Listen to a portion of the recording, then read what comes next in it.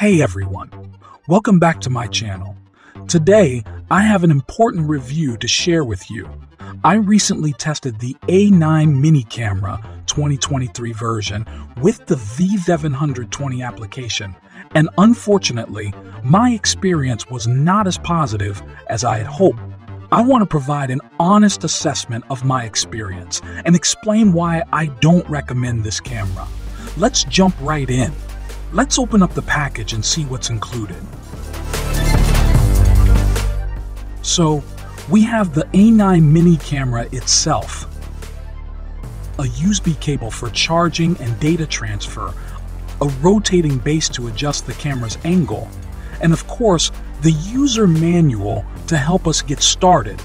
Right off the bat, the A9 mini camera feels compact and lightweight, perfect for versatile use. The rotating base is a great addition, allowing for easy positioning and capturing different angles. Now let's connect the camera to the application, download, and install the V720 app from the App Store on your smartphone. Open the V720 app and tap Add device to begin the setup process. Grant the app access to your device's location when prompted. Turn on the Bluetooth and tap Add device. Turn on the camera by pressing the power button. Long, press the mode button on the camera to perform a reset.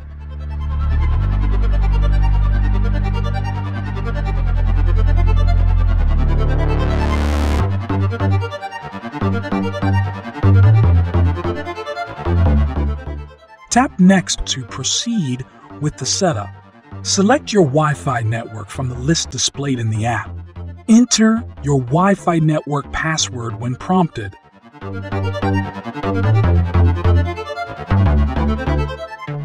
Tap Next to continue after entering the correct password.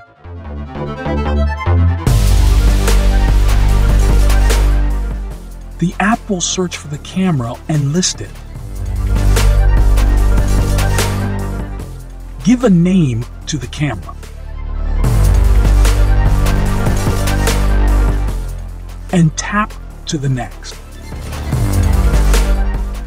The camera now is online. Now, let's talk about the most important aspect the camera's performance.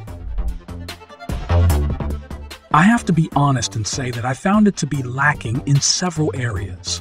The image quality was subpar with blurry details and poor color reproduction and a constrained field of view. The low light performance was particularly disappointing, resulting in grainy and noisy footage. Additionally, I experienced issues with autofocus and overall stability, making it difficult to capture steady shot. Based on my extensive experience testing multiple versions of the A9 mini camera, I must honestly say that the 2023 version falls far short of expectations. Its video quality is subpar, and the overall performance is disappointing. Given these issues, I strongly discourage purchasing the A9 mini camera in 2023. It fails to meet the standards I would expect from a reliable and high quality camera. Thank you for joining me for this review. It's important to share our experiences to help others make informed decisions. Remember, different individuals may have different preferences and expectations.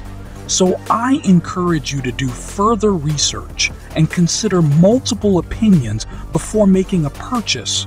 If you found this video helpful, please give it a thumbs up and subscribe to my channel for more reviews. If you have any questions or want to share your thoughts, feel free to leave them in the comments below. See you next time.